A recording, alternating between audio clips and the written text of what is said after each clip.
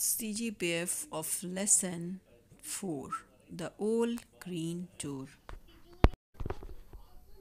C in CGPF, C stands for context, G for guess, P for pronunciation, and F for form, whatever parts of speech it may be.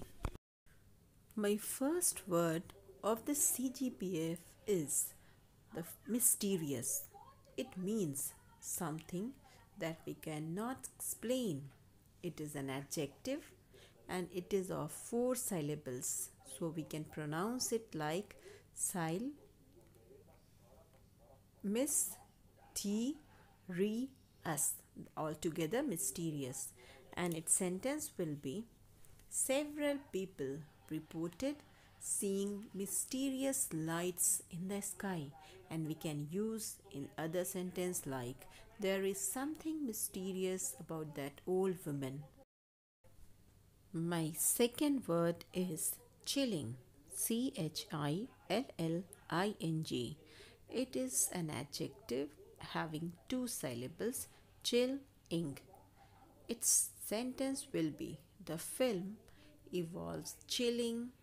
The film evokes chilling reminders of the war. And we can use in second sentence like I am just chilling out in front of the TV.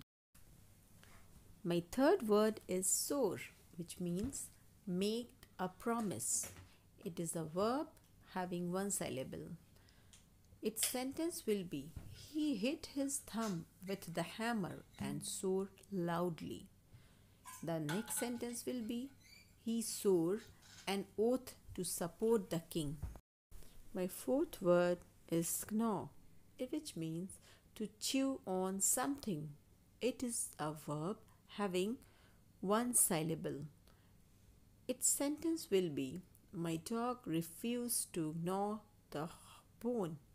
Now, the next sentence will be He nervously gnawed on his fingernails.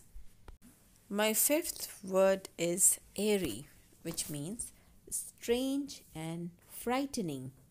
It is an adjective and it is having two syllables, airy. Its sentence will be I walked down the airy dark path.